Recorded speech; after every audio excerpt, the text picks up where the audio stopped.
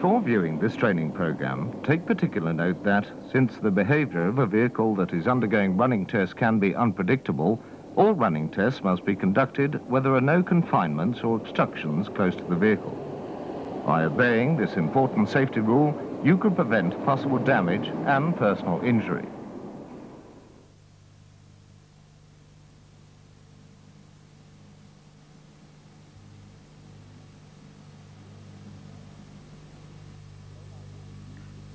Here in diagrammatic form is the control idea used with Leyland pneumocyclic gearboxes. This is the latest six-way control system, of which there are minor variations as a result of design updating. However, the basic control idea is the same.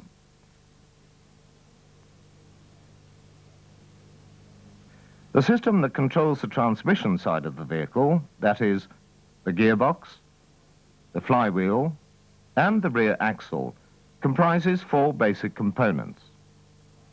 There's the auxiliary air tank of the vehicle, which, when charged, has an air pressure of between 105 and 120 pounds per square inch. From the auxiliary air tank, air passes to a limiting valve here. This limiting valve reduces the air pressure down to the working pressure of the control system which is usually between 80 and 85 pounds per square inch. But there are exceptions to this pressure. Therefore, always consult the vehicle or the program data sheet for the correct air pressure.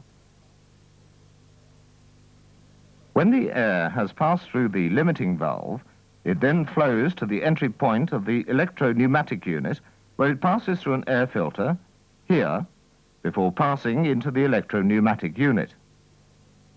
An electrical supply is passed to this, the change speed unit. It's the change speed unit which, on manual selection of the appropriate gear, will send an electrical impulse to the electro-pneumatic unit where a solenoid will come into operation to release air from the EP unit to the selected gear within the gearbox. For maintenance and fault diagnosis purposes, take particular note that a neutral wire runs from the change speed unit to the plug that takes the electrical impulse into the EP unit. In addition, on some models, there is an intermediate connection between the change speed unit and the EP unit. There are two main types of pneumocyclic gearbox, but the main gearbox casing is the same on each type.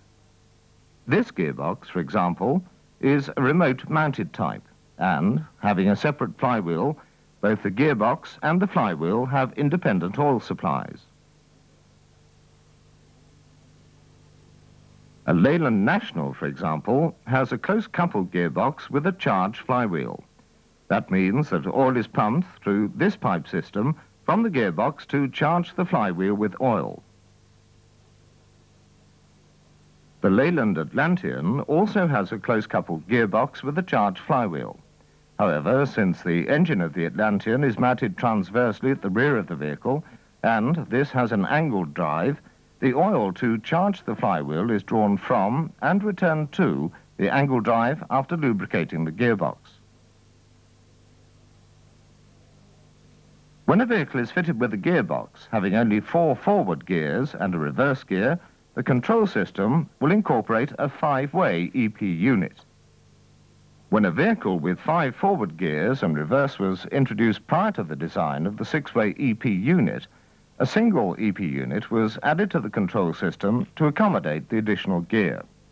You'll find that on systems of this configuration, the single EP unit may serve either fifth gear or reverse. A direct air control is an alternative to the electro-pneumatic change speed unit.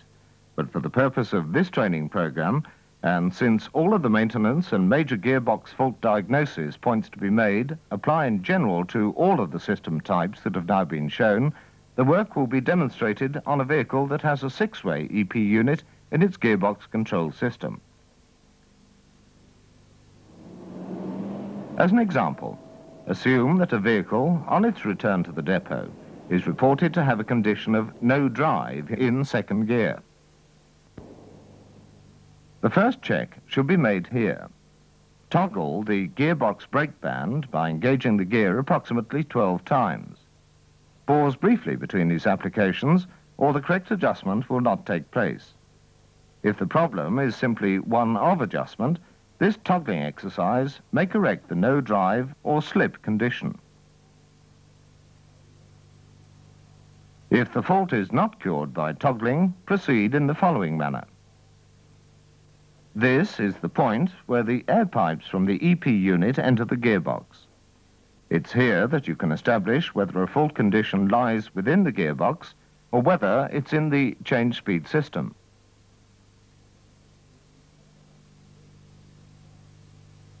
With the air tanks of the vehicle in a charge condition and the change speed lever in neutral, release the air inlet line here that feeds to second gear. Now select second gear. If air escapes from the end of this pipe when it's released, and you'll hear if air is present, then the control system is functioning correctly, and it's therefore a clear sign that it's the gearbox that is at fault. However, if there is no air escaping from the pipe outlet, it means that there's a fault in the control system. Therefore, first replace the air inlet pipe and proceed to examine the control system in the following manner. First, disconnect the plug that takes the electrical supply from the change speed unit to the entry point of the EP unit and examine this socket for any sign of dirt or corrosion that would prevent a current flow and cause a malfunction. Examine also the plug for the same reason. The plug has a location channel and each socket hole has an identification letter. Here is the location channel of the plug. The central hole is the neutral. This is the first gear socket. And this is the second gear supply socket. To determine whether there is an electrical supply from the change speed unit to this plug, Use a test lamp fitted with a bulb that will consume no more than 0.7 of an amp. Place one lead of the test lamp in the second gear socket and the other in the neutral socket. Now apply second gear intermittently. If there's power from the change speed unit to the EP plug and to the second gear socket, the bulb will light. In some change speed selectors, only momentarily, because the circuitry of some change speed units is set to cut out on either underload or overload. On the underside of this change speed unit, the two-speed protection device is situated here, and beneath this cover are the electrical connections of the unit. If on any occasion a flow of current isn't available to the EP unit plug, Check that all of the wires and the connections here are secure and that there are no signs of corrosion. Also, operate the change speed unit and ensure that the contacts are, indeed, making contact. Then, on the occasions when the vehicle you're servicing is fitted with an intermediate connection like this between the change speed unit and the EP unit, ensure that there's electrical continuity through the connection. You'll also come across this type of change speed unit. Again, always check that connections, both to and from the unit, are secure and clean. This is the location of the two-gear trip-out assembly. Here is the range of EP units in service. The six-way EP is at the bottom, Above it, the five-way EP unit is used both as a four-speed control or with the single EP unit on the left to control a five-speed gearbox. On the earlier five-way EP unit, the valves can be operated manually by depressing the top of the units, like this, to operate the air valves. If air passes to the second gear from the EP during the manual operation, then the valve mechanism is in order and the fault will be found to be in the solenoid or in the wiring between the plug socket and the solenoid. Each gear has a separate solenoid, and each solenoid has a spindle, like this one, which is, in fact, the exhaust valve. The EP unit, being a modular construction, allows for the exchange of faulty portions of the individual solenoid assemblies, or, depending on your local service facility, you may exchange the complete EP unit.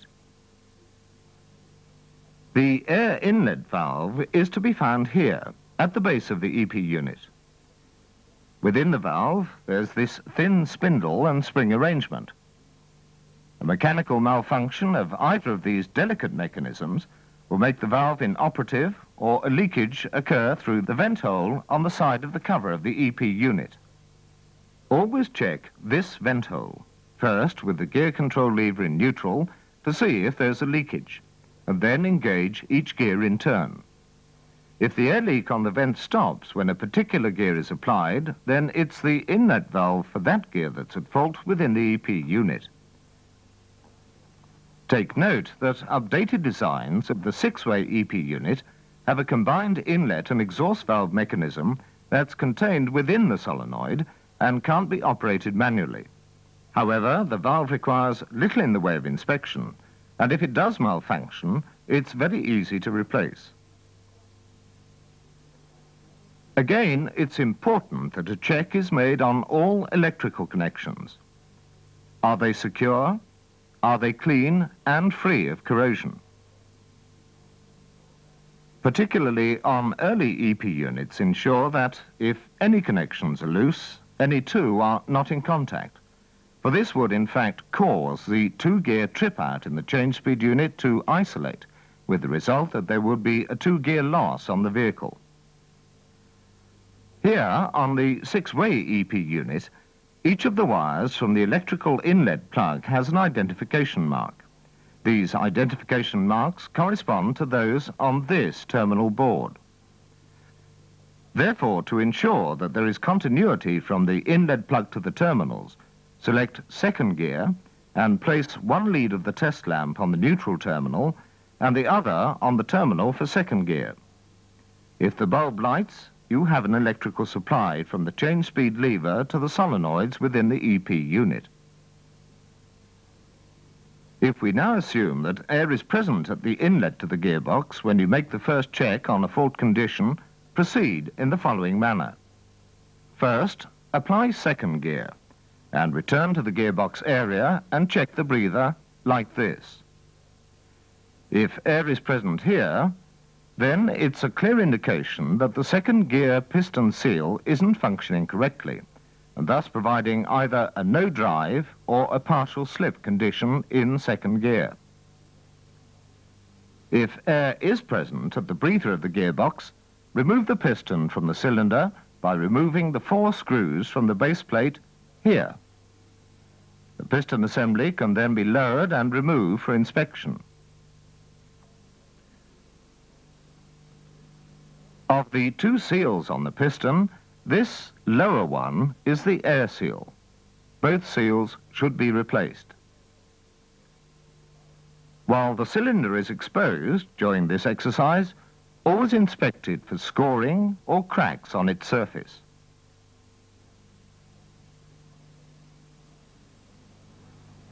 It's vital that, prior to any adjustment being carried out on the brake bands, the following check is made to ensure that the air pressure from the limiting valve of the auxiliary tank is set to the correct pressure. Therefore, fit a pressure gauge at the gearbox supply inlet and apply the gear to check the air pressure at this point. Here, the air pressure is low, and the fault can easily be rectified as follows. Return to the limiting valve and slacken off the lock nut of the valve. To increase the air pressure from the tank to the gearbox, wind the adjustment screw in like this. And, after tightening the lock nut, apply the gear once more and check the reading on the gauge. The reading is now correct. Therefore, adjustment of the brake band can commence. Remove the cover from the band adjustment section of the gearbox and examine the thread depth on the adjuster nuts.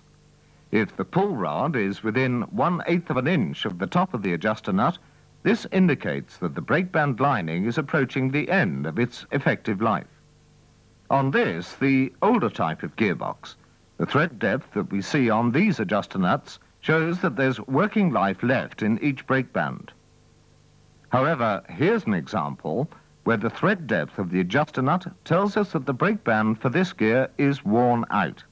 But later types of this gearbox have a different length of pull rod. These adjuster nuts, therefore, show the thread depth to the pull rod top when the brake bands are new. If the brake bands were excessively worn, the pull rod end would protrude through the adjuster nut some 3 eighths of an inch.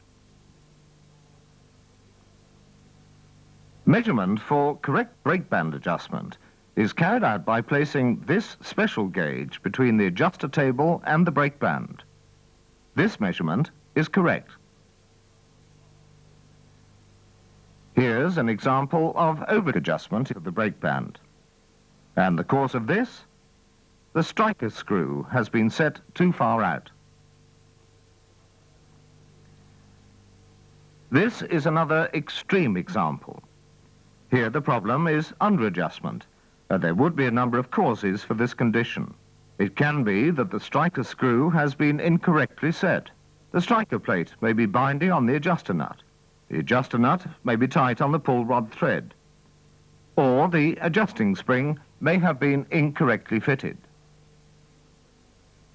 It can be rather confusing when replacing these adjuster springs, and it's very easy to fit them incorrectly. Here are three adjuster springs in position. But let's ask you, the viewer, which one has been positioned correctly?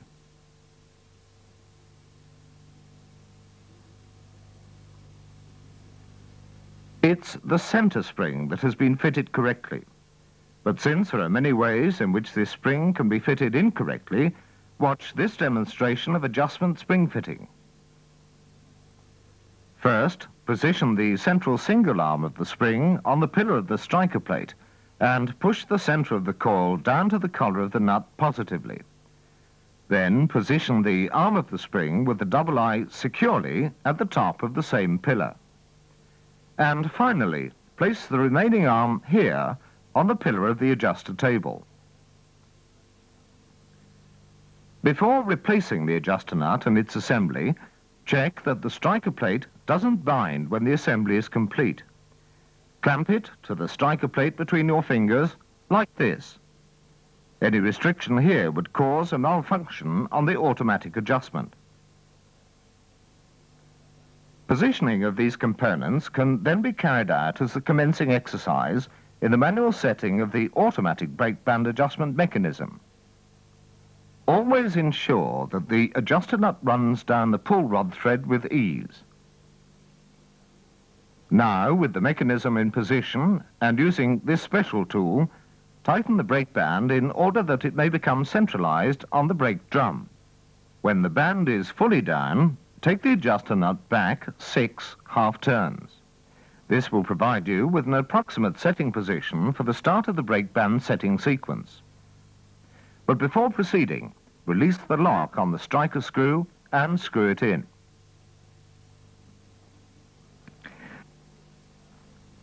using either, as here, an independent air supply or the air system of the vehicle, apply the specified pressure to the brake band and check the distance between the brake band and the adjuster table. In this instance, the gap is too wide. Therefore, release the air pressure and turn the adjuster nut only slightly in an anti-clockwise direction.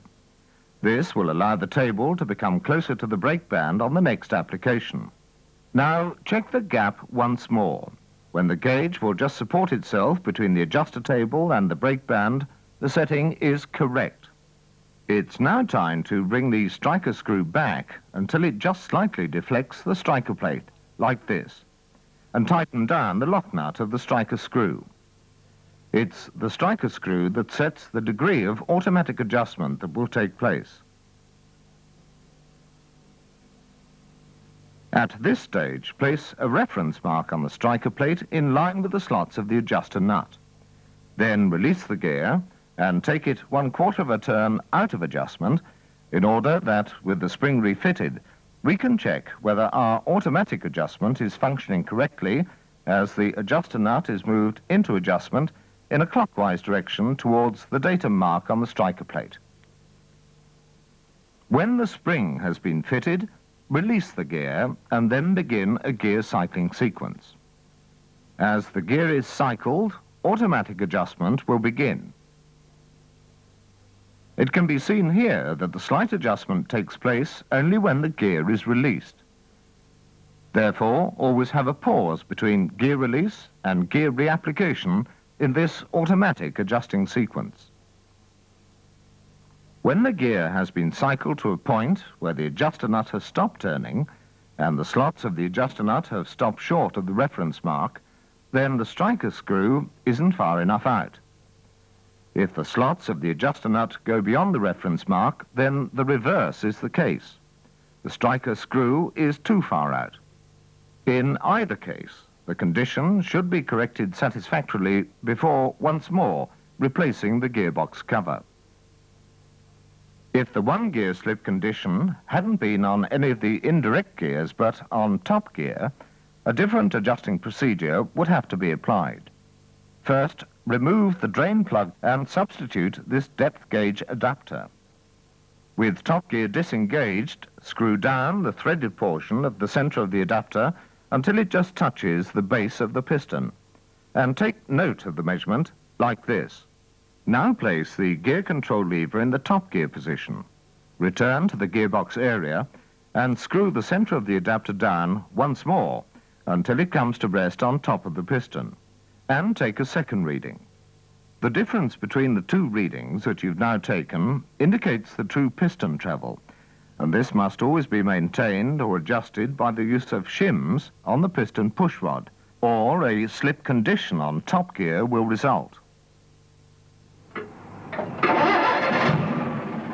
If you start the engine of the vehicle, place the gear control lever in second gear, release the handbrake, and on depressing the throttle, there's no forward movement of the vehicle, this may be due to a stall no drive condition or a neutral no-drive condition. Therefore, with the throttle fully depressed, listen to the engine revs.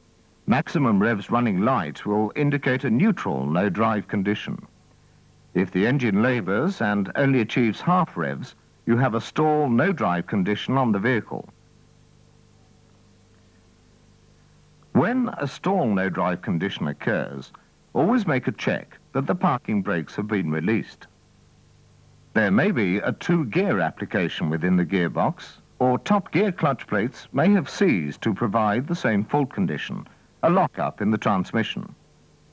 Although it's unlikely, a stall no-drive condition could be caused by a mechanical fault in the valve mechanism of the EP unit.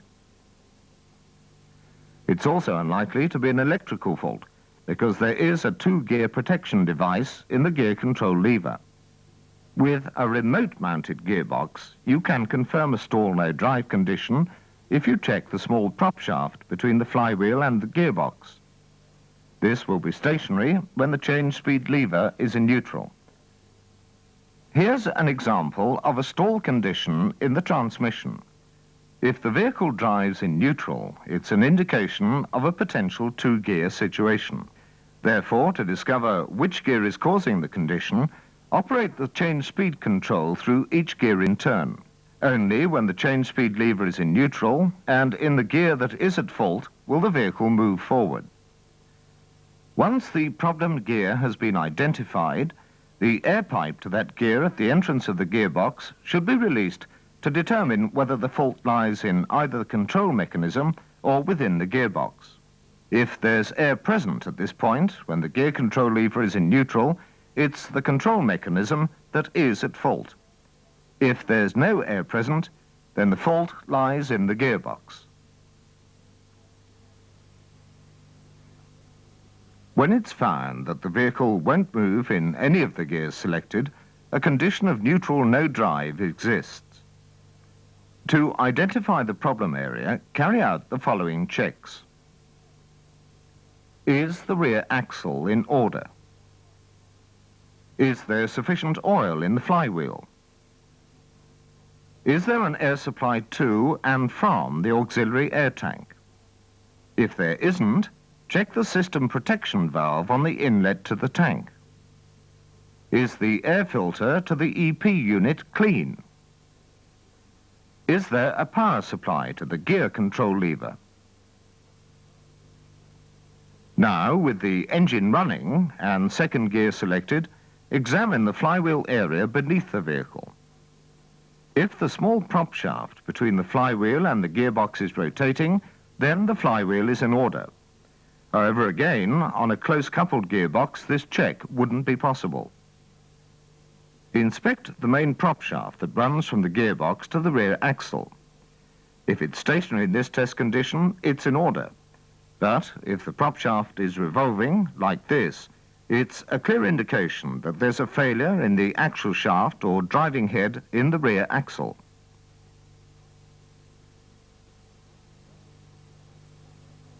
If the drive to the rear axle is in order, then the fault may be found to be in the area of the air supply to the gearbox, and the problem should be approached in the following manner. Check that the auxiliary air tank is fully charged and that it's providing the correct pressure to the EP unit through the limiting valve. When you slacken off nuts in any air circuit, the presence of an air supply will be audible. But when you're completely releasing nuts in the air circuit, always empty the air tank first. Having established that there is an air supply to this point, the air filter should now be removed and examined to ensure that it isn't blocked in any way. If there is a correct supply of air to the EP unit, then it may be that there's a fault in the power supply which prevents the operation of the solenoid within the EP.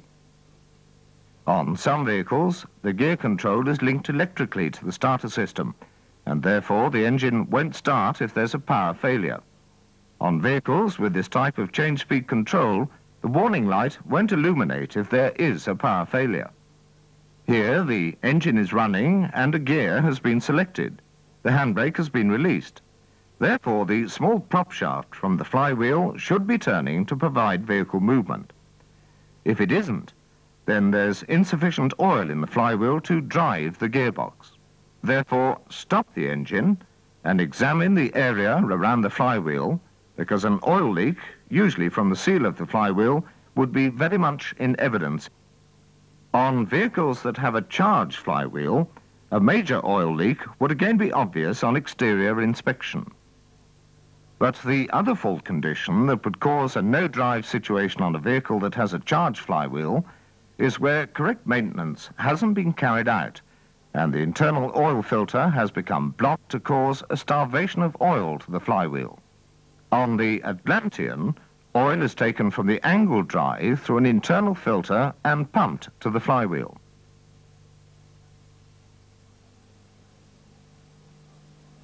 A Leyland National has a charge flywheel, and the oil for the flywheel is drawn from the base of the gearbox, again through a fixed internal filter.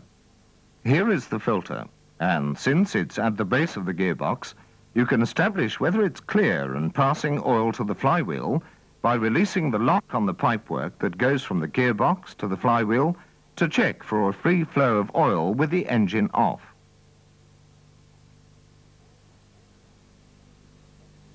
Always carry out an inspection of each restrictor by first releasing the air supply pipe to the gear when the change speed lever is in a neutral position.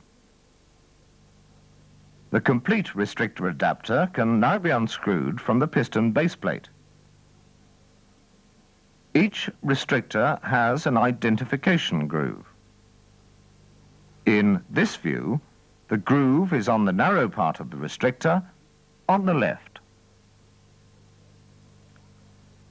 This is the air supply hole that faces the gearbox. And this is the air release hole. The larger hole on the other end is the hole that accepts air from the supply. The restrictor is the vital component that times the application and the release of all the indirect gears. Each restrictor within any gearbox is different, and they're different again in different vehicle types. It's important, therefore, that a full check is made on the program datasheet in order that the correct restrictor is fitted to each gear. Every restrictor should be fitted this way round, with the reduced end nearest to the operating cylinder.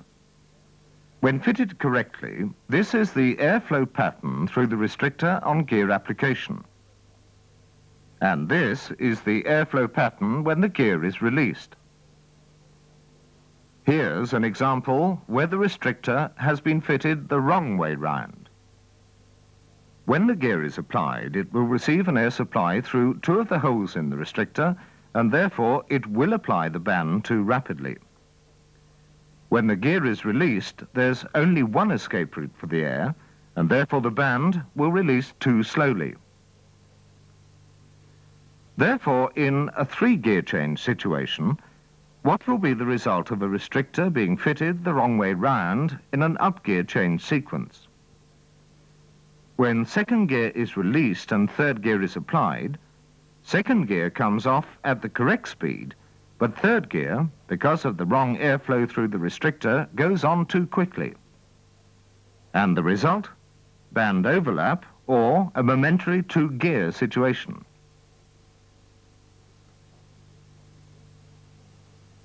On the gear change from third to fourth, a similar situation, but in reverse, will occur. When third gear is released, because it has only one air escape path instead of two, the band will come off too slowly, while fourth gear will apply at the correct speed, causing a band overlap situation. So remember, always ensure that restrictors are fitted correctly and that it's the correct restrictor that you fit.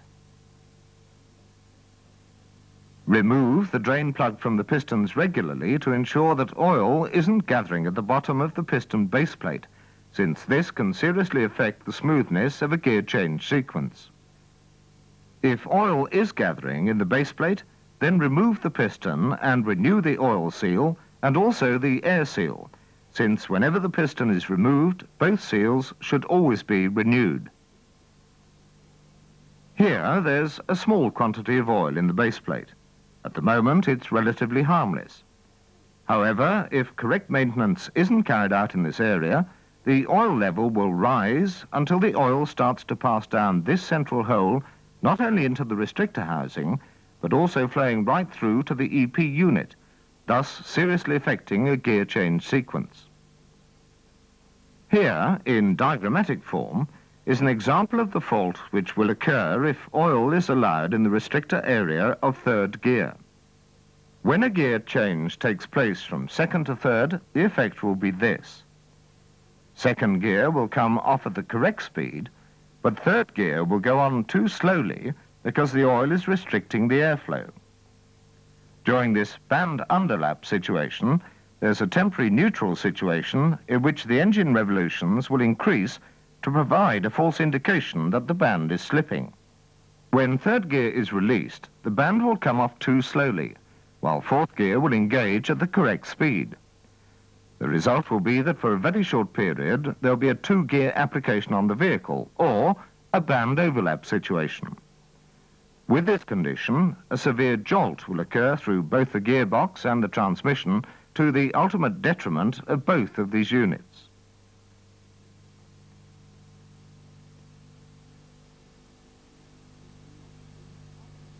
To achieve optimum performance and the maximum life to the running components of the vehicle in your charge, always change or clean oil filters and suction filters where applicable at the correct intervals and use the specified grades of oil. A vehicle with a charged flywheel should have your special attention, since there are particular filling procedures for lubricant. For guidance, examine your program notes.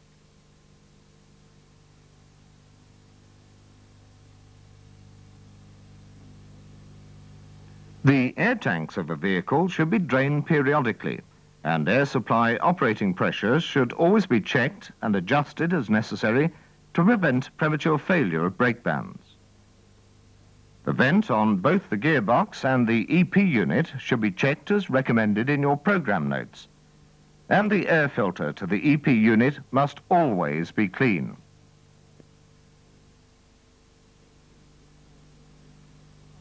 Always disconnect the prop shaft or withdraw the axle shafts when towing the vehicle. If you don't, the gearbox will be starved of oil, with the result that first, top gear clutch plates will seize, followed by the components of all other gears.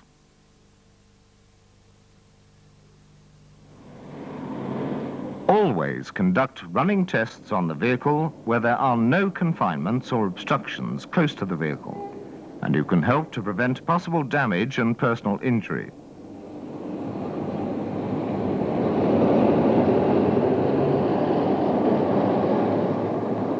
If all of the points outlined in this training program are followed carefully, you'll be able to identify a fault condition quickly and accurately.